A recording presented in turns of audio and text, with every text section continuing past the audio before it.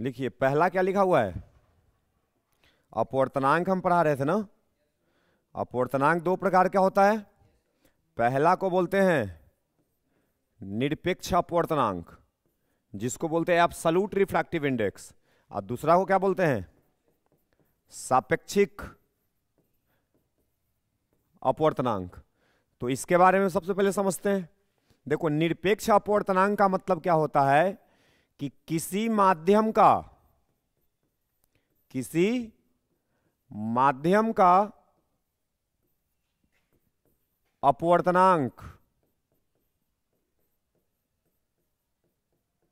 किसी माध्यम का अपवर्तनांक हवा या निर्वात के सापेक्ष में, हवा या निर्वात के सापेक्ष में।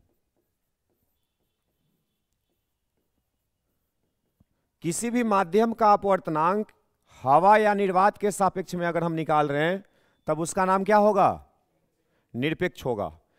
सापेक्षिक किसको बोलेंगे?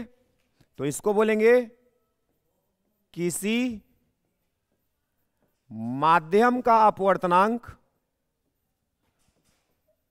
किसी माध्यम का अपवर्तनांक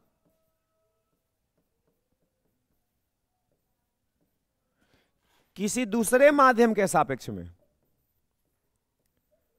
किसी दूसरे माध्यम के सापेक्ष में।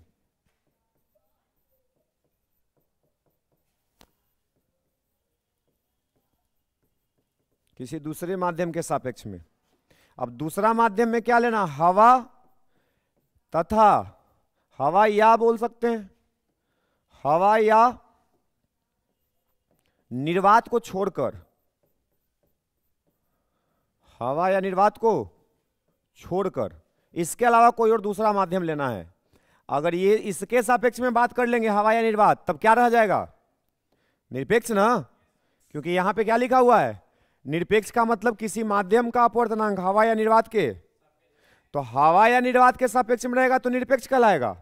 किसी भी दूसरा माध्यम के सापेक्ष में अगर बात करेंगे तो क्या कहलाएगा? सापेक्षिक जैसे में हम बात कर लेते हैं, जैसे देखो, अपवर्तनांक को कौन चीज़ से लिखा जाता है? म्यू से। हम लिखते हैं ऐसे, म्यू डब्लू, और यहाँ ए लिख देते हैं। तो इसका क्या पढ़ेंगे सबसे पहले? डब्लू से क्या होता है? वाटर। वाटर का मतलब पानी। तो हम बोलेंगे पानी का अपवर्तनांक। जो पहले है, उसको पहले बोलेंगे। म्यू डब्ल्यू लिखा हुआ है ना? तो बोलेंगे पानी का। किसके सापेक्ष में? हवा के सापेक्ष में। ए से क्या है? एयर। तो पानी का अपवर्तनांक हवा के सापेक्ष में। क्लियर हुआ? अगर हम लिखे, इसको हम क्या लिखे? चलो हम पढ़, समझ गए? क्या लिखे? हैं बोले हैं? पानी का किसके सापेक्ष में?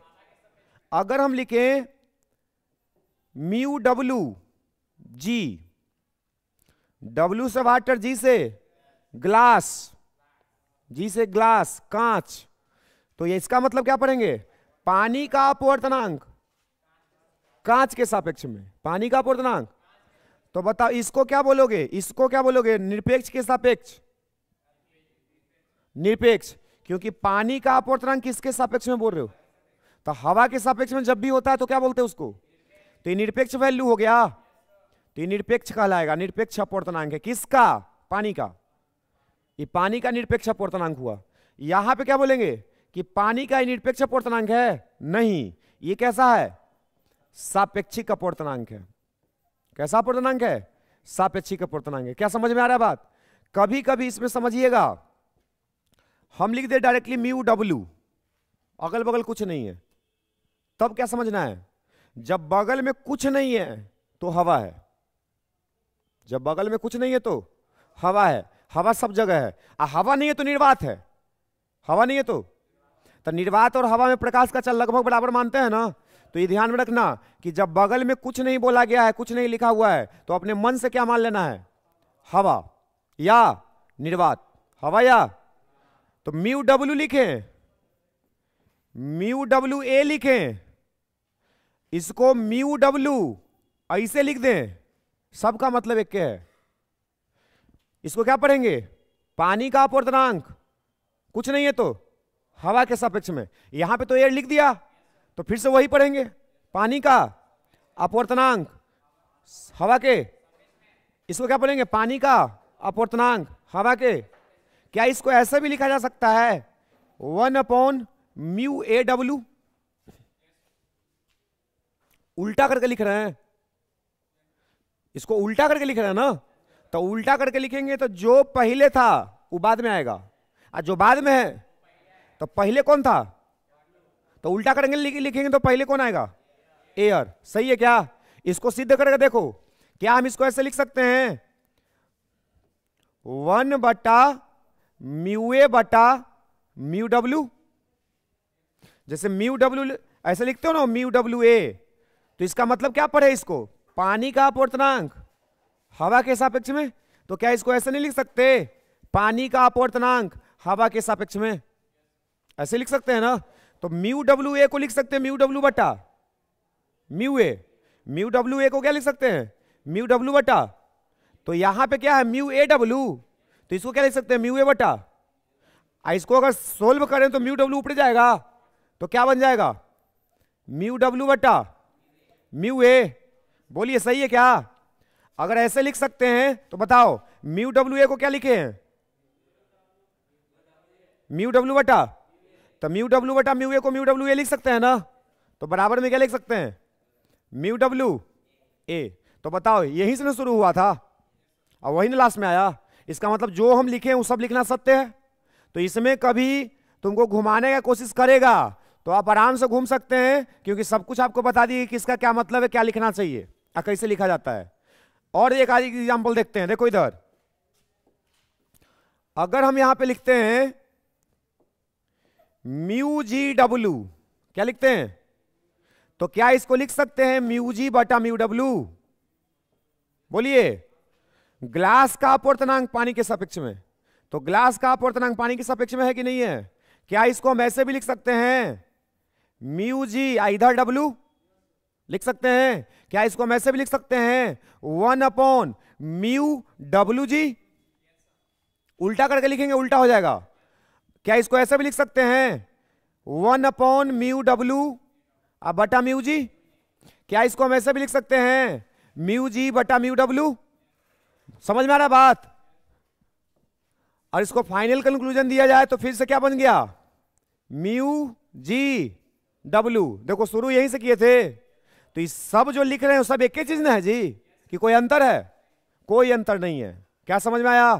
तो दो चीज़ आपको बताए। एक निरपेक्ष अपवर्तनांक और एक सापेक्ष निरपेक्ष का मतलब दिमाग में क्या घुसा? बस, निर्वात या हवा के सापेक्ष में जब भी बात होगा, निरपेक्ष होगा। हवा निर्वात को छोड़ के किसी और के सापेक्ष में बात हुआ, सापेक्षिक होगा। क्लियर हुआ? अब देखो थोड़ा थोड़ा सा और इंपॉर्टेंट पॉइंट अगर हम बोले कि हवा का अपवर्तनांक कितना होगा तो देखिए म्यू का परिभाषा क्या कहता है? कि निर्वात या हवा में प्रकाश की चाल, आ माध्यम में प्रकाश की चाल के अनुपात को। तो निर्वात में प्रकाश का चाल, आ माध्यम में प्रकाश का चाल। लिखते हैं, हम किसका बात कर रहे हैं? एयर का। तो हवा में प्रकाश का चल लगभग सी ए के बराबर न होता है। तो क्या लिखा जाएगा? सी बटा सी सी। तो आंसर कितना आया? तो ध्यान में रखना कि हवा का अपवर्तनांक कितना होता है? वन होता है। हवा का अपवर्तनांक कितना होता है? आ, तीन चार गो और वैल्यू बता रहे हैं, उसको भी ध्यान रखना। ग्लास का अपवर्तनांक कांच का, लगभग एक दशमलव पाँच होता है। कितना होता है? एक दशमलव पाँच। पानी का अपवर्तनांक एक दशमलव तीन तीन। डायमंड, हीरा हीरा का अपवर्तनांक दो दशमलव चार दो। कम से कम चार को डाटा याद रखना। किसका किसका?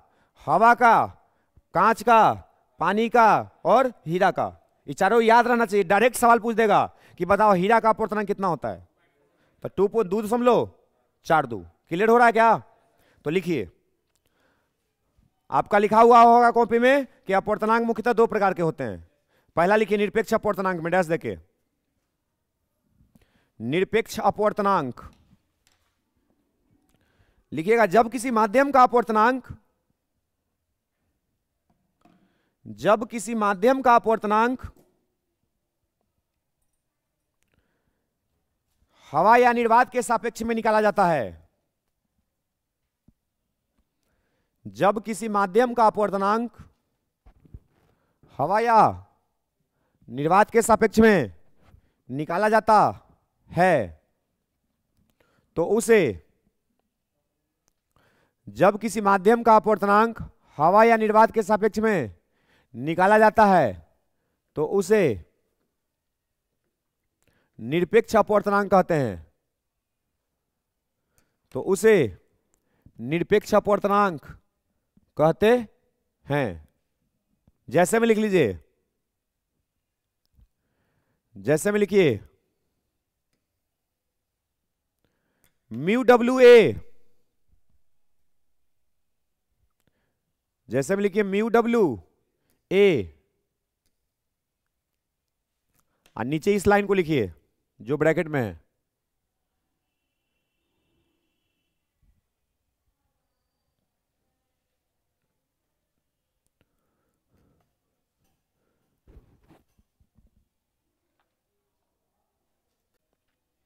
दूसरा लिखिए, सापेक्षिक अपवर्तनांक। सापेक्षिक अपवर्तनांक। लिखिए जब किसी माध्यम का अपवर्तनांक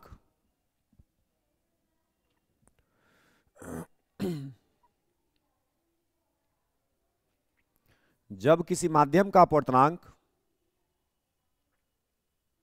किसी दूसरे माध्यम के सापेक्ष में, जब किसी माध्यम का अपवर्तनांक किसी दूसरे माध्यम के सापेक्ष में ब्रैकेट में लिखिए, हवा तथा निर्वात को छोड़कर, ब्रैकेट बंद।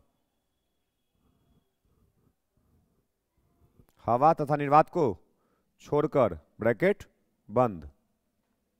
निकाला जाता है। निकाला जाता है। तो उसे सापेक्षिक अपवर्तनांक कहते हैं।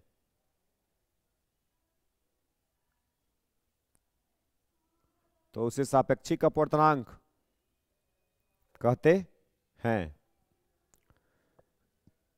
जैसे में लिख लीजिए। जैसे में लिखिए, mu G W mu G W मतलब क्या हुआ? क्या पढ़ोगे इसको? हाँ ग्लास का अपवर्तनांक, पानी के सापेक्ष में। अब इसको हम ऐसे लिख सकते हैं ना लिखिए।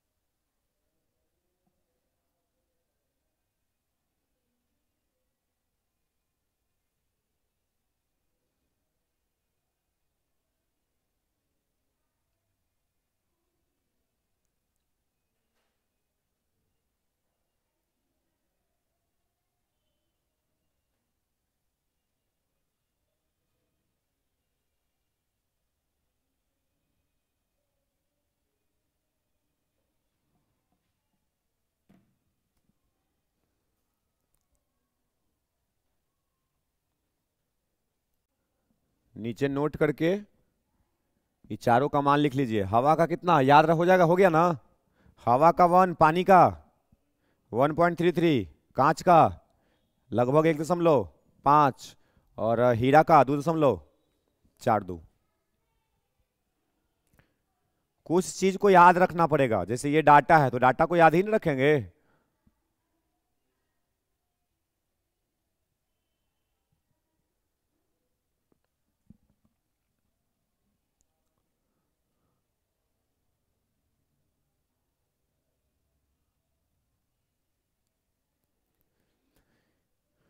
अब इसके बाद लिखिए तो हेडिंग डालिए तो स्नेल का नियम। उसी को समझने के लिए ना हमको अपवर्तनांक पढ़ना पड़ा।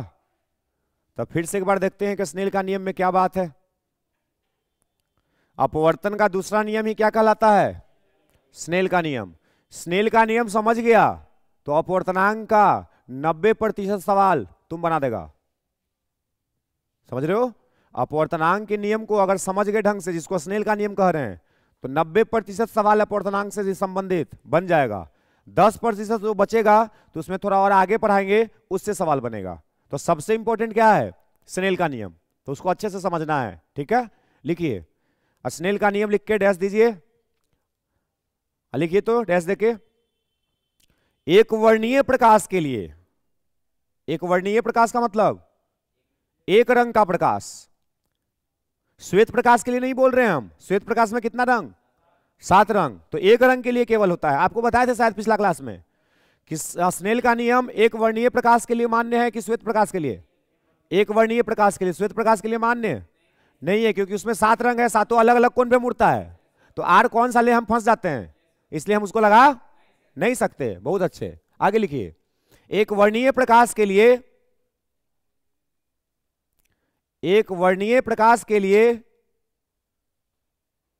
आपतन कोण की जया? एक वर्णीय प्रकाश के लिए आपतन कोण की जया? ब्रैकेट में लिखो साइन आई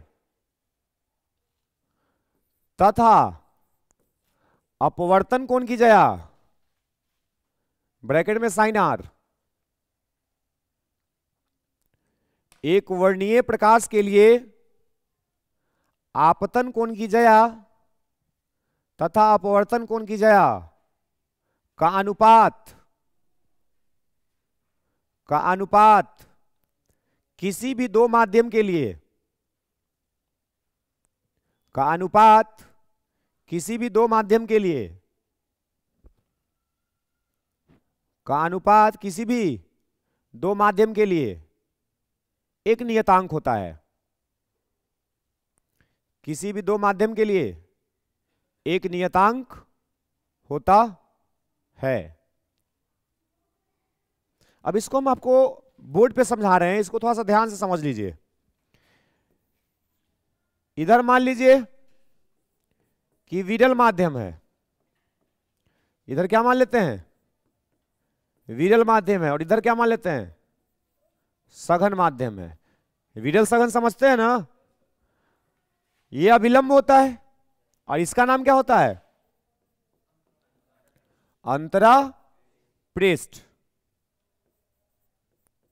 अंतरा पृष्ठ। अंतरा पृष्ठ बोले तो एक सतह है जो दो माध्यम को बांट रहा है। इसके ऊपर, इसके नीचे, सघन माध्यम है। अब सपोज़ कीजिए कि प्रकाश इधर से आ रहा है। मान लेते हैं कि प्रकाश ऐसे आ रहा है। तो प्रकाश को कायदे से चलना चाहिए था कैसे? सीधा। लेकिन सीधा जाएगा। प्रकाश जब विरल से सघन जाता तो किधर मुड़ता है? अभिलंब की ओर। ये जितना कोण अभिलंब से बनाया, बना के आया, उसको आपतन कोण, आई। और जितना कोण बना के अभिलंब से गया, उसको अपवर्तन कोण, आर। तो आपको ये तो देख के पता चल रहा है ना कि आई ज़्यादा बना के आया था अब कम बना के जा रहा है। अभी कितना कौन से मुड़ा, ये किस बात पर निर्भर करेगा? इसको क्या बोलेंगे? विचलन कौन इसको क्या बोलेंगे? तो इसमें विचलन कितना हुआ या आर का मान कितना होगा, ये किस बात पर निर्भर करेगा? तो ये इस बात पर निर्भर करेगा कि सघन माध्यम का अपवर्तनांक कितना है। जितना ज़्यादा अपवर्तनांक होगा, उतना ज़्यादा ही मुड़ेगा। जितना कम अपवर्तनांक होगा, उतना कम मुड़ेगा। क्या ये समझ में आ रहा बात? जैसे यहाँ पे अगर बोल दे कि नीचे पानी है, अब पानी में यहाँ से गया है, और नीचे फिर बोल दे कांच है तो कांच में यहीं से जाएगा कि इधर से जाएगा कि इधर से जाएगा? और पास हो जाएगा। अगर पानी है और यहाँ से जा रहा है और कांच बोल दें तो ये और पास से जाएगा। तो बताओ, माध्यम बदल रहा है तो आर का मान बदल रहा है कि नहीं?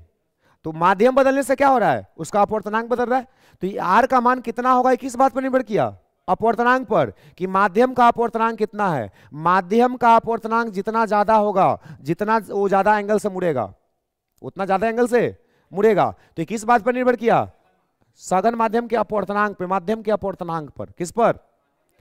अब इसको देखो, समझना। अस्नेल का नियम अगर हमको इसको लिखना है, इस डायग्राम के लिए तो अस्नेल का नियम कैसे लिखते हैं उसको समझो। अस्नेल के नियम। जो आपको बताया गया तो आपको तो क्या बताया गया? कि आपतन कोण की जया, अपवर्तन कोण की जया, का अनुपात किसी भी दो माध्यम के लिए, एक नियतांक होता है। लेकिन वो स्टेटमेंट है लिखने का तरीका कुछ अलग है। जैसे मान लो कि विरल माध्यम का अपवर्तनांक कितना मान लेते हैं? Mu one. और सघन माध्यम का कितना मान लेते हैं? Mu two. ठीक बात है? दो माध्यम दोनों का अपवर्तनांक अपना कुछ होगा ना? तो इसका कितना मान लिए? इसका कितना मान लिए? अब स्नेल का नियम लिखना कैसे सो समझो। जिधर का अपवर्तनांक लेना, उधर का कौन लेना, साथ में। गुना करना, साइन के साथ। कैसे लिखेंगे? Mu one, sine I. क्या लिखेंगे? Mu one sine. आप बीच में दे देना बराबर। ठीक? और उसके बाद दूसरा माध्यम में चलाओ। तो इधर का अपवर्तनांक म्यू टू। और इधर का कौन तो क्या लिखेंगे? Mu two sine R. ये दोनों का मान बराबर होगा। कारण समझो। आर कब ज़्यादा है कि आई ज़्यादा है? आई और आर दिख रहा है ना? कौन है। तो आई ज़्यादा है कि आर ज़्यादा है? अगर आई का मान ज़्यादा है तो इसका अपवर्तनांक कम होगा। देख लो। ये विरल माध्यम है कि नहीं है?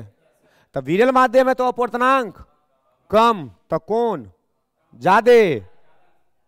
समझ रहे हो? अगर एक कम है तो दूसरा का ज़्यादा होना चाहिए। तब ना गुना करेंगे तो इसके बराबर आना चाहिए। इधर देखो म्यू टू ज़्यादा की कम? तो आर का मान। तो देखो, एक ज़्यादा है तो दूसरे का। एक कम है तो दूसरे का। तब ना दोनों को गुना करेंगे तो बराबर आ सकता है। समझ में आ रहा है? अब ये आर का मान जितना कम होगा, उतना ज़्यादा म्यूटू होगा। ये जितना इसको घटाएँगे, उतना ही बढ़ेगा। तब ना दोनों को गुना करेंगे तो कांस्टेंट रहेगा। क्या समझ आ रहा है बात? अब तुम जो लिखे हो, उसको समझो।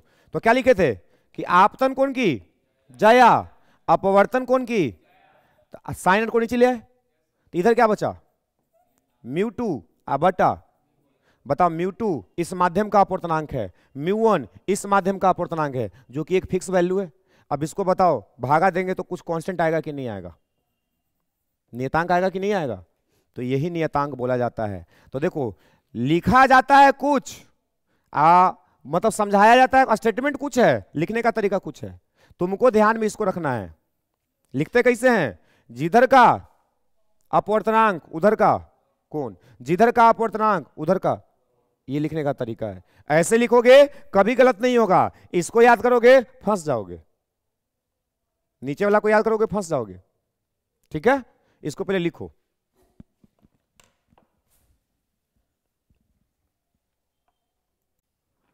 देखो, इसमें सवाल कैसे तुमको बना के देगा? ऐसे फ़ोटो बना देगा। यहाँ पे दे देगा कि ये कौन मान लो साठ डिग्री है। ठीक? इधर का अपवर्तनांक हवा मान लेते हैं, हवा में कितना डिग्री से आया है? तो हवा का अपवर्तनांक पता है। आ, इधर मान लेते हैं कि पानी है।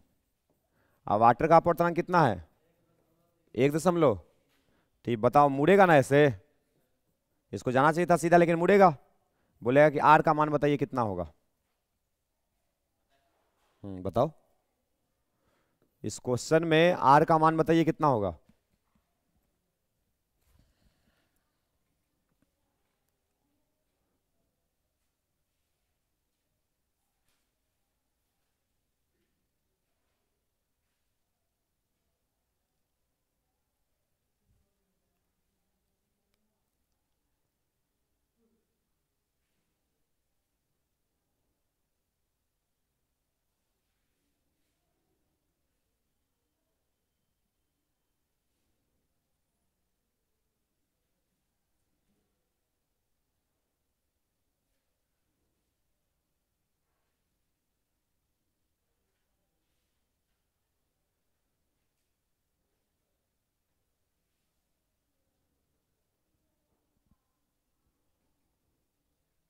हमको दिखना चाहिए कि अपवर्तन हो रहा है। प्रकाश एक माध्यम से दूसरा माध्यम गया ना तो अगर अपवर्तन हुआ है तो अपवर्तन का नियम लगेगा, और अपवर्तन का दूसरा नियम स्नेल का नियम है। और स्नेल का नियम ही एंगल और अपवर्तनांक में संबंध देता है। तो डायरेक्टली हम क्या लिखेंगे? स्नेल के नियम से। स्नेल के नियम से। तो क्या लिखाएगा? म्यू ए, जिधर का अपवर्तनांक उधर का तो म्यू ए साइन साठ बराबर म्यू डब्ल्यू, साइन आर, हो गया। अभी अभी लिखना सिखाए थे ना? अब इसमें मान पुट करो। तो म्यू ए का कितना? वन हो गया। आ साइन साठ कितना होता है? रूट थ्री बटा बराबर म्यू डब्ल्यू कितना है? एक दशमलव। आ साइन आर तो एक दशमलव तीन तीन कहाँ जाएगा? नीचे। तो साइन आर बराबर कितना हो गया? रूट थ्री बटा दो दशमलव छ छ बोलो। तो आर बराबर कितना हो जाएगा? आर बराबर हो जाएगा साइन इनवर्स रूट थ्री अब बटा में दो दशमलव छ छ अब मान लो कि ऑप्शन में ऐसा नहीं है। ऑप्शन में एंगल डायरेक्ट दिया है कि आर का मान कितना होगा। तो हम अंदाज़ा लगा सकते हैं। अंदाज़ा कैसे लगाएँगे? आर बराबर साइन इनवर्स रूट थ्री कितना होता है? एक दशमलव सात तीन दो। अब बटा में दो दशमलव छ छ इसको भागा देके तो देख सकते हैं ना कितना आया। हम देख लेते हैं एक बार। एक दशमलव सात तीन दो। अब भागा, दो दशमलव छ छ देखो, ज़ीरो दशमलव छ पाँच आ रहा है। कितना आ रहा है? ज़ीरो दशमलव छ पाँच। साइन इनवर्स के साथ ना?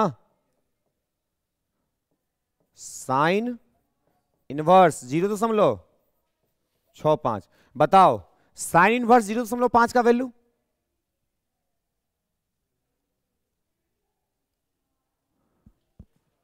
साइन तीस कितना होता है जी? एक बटा दो, एक बटा दो का मतलब? ज़ीरो समलो तो यहाँ से अगर हम बोले कि साइन तीस का वैल्यू ज़ीरो दशमलव पाँच होता है तो साइन इनवर्स ज़ीरो दशमलव पाँच कितना हुआ? तीस। साइन इनवर्स ज़ीरो दशमलव पाँच का वैल्यू कितना बोलेंगे? तीस डिग्री। होगा ना? साइन तीस का वैल्यू कितना है?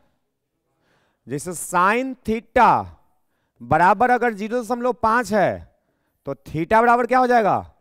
साइन इनवर्स ज़ीरो दशमलव पाँच, और इसका मान कितना होता है? ये बोल रहे हैं। साइन इनवर्स का मतलब उल्टा लेके जा रहे हैं। ठीक है? एंगल पे चला रहे हैं। जैसे साइन थीटा का मान इतना है तो थीटा बराबर क्या हो जाएगा? साइन इनवर्स इतना। तो साइन थीटा का मान कितना होता है? ज़ीरो दशमलव पाँच। तो थीटा का वैल्यू कितना? तीस का मान होता है ना ज़ीरो दशमलव पाँच?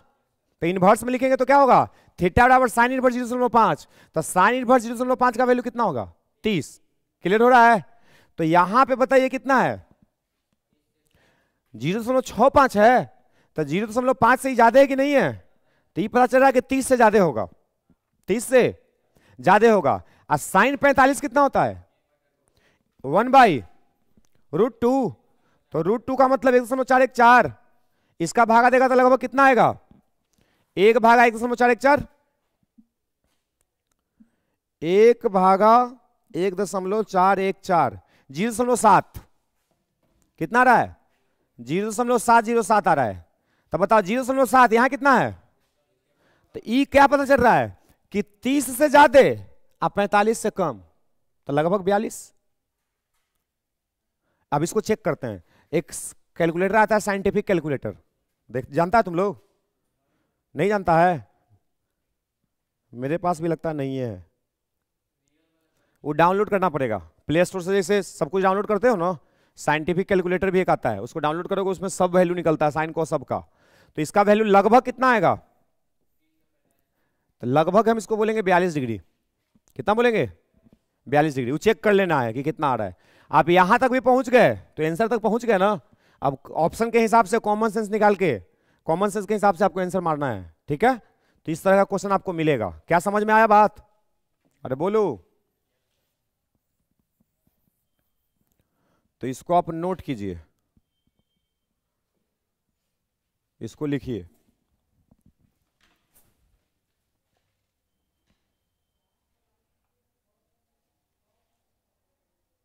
चलो और क्वेश्चन हम करेंगे। पहले इसको कंप्लीट करते हैं। जो थियोरिटिकल पोर्शन है ना, पहले जो कॉन्सेप्ट है कॉन्सेप्ट पहले देते हैं। उसके बाद आपको सवाल एक तरफ़ से पूरा कराएँगे स्टार्टिंग से। तो सब फिर से रिवाइज हो जाएगा सवाल के साथ। तो इसका अगला जो टॉपिक हमको पढ़ना है, उसका नाम है प्रकाश का पूर्ण आंतरिक प्रावर्तन। हेडिंग डालिए। प्रकाश का पूर्ण आंतरिक प्रावर्तन। प्रकाश का पूर्ण आंतरिक प्रावर्तन। प्रकाश का पूर्णांतरिक प्रावर्तन। इसको अगला क्लास में पढ़ाते हैं, ठीक है? इतना पढ़ के आइए।